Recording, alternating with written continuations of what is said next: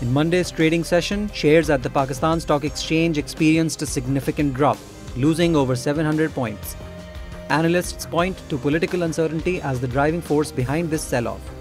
The benchmark KSE 100 index closed at 47,447.95 points, recording a decrease of 770.54 points from the previous close of 48,218.49 points on Friday, 18th of August.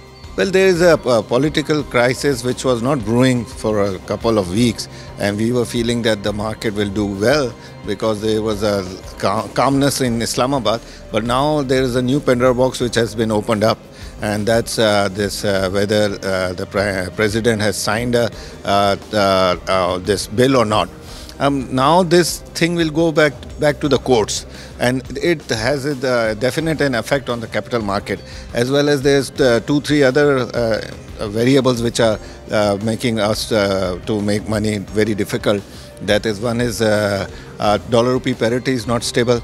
Dollar is going somewhere northern side with 300 rupees above 300 rupees now in the interbank.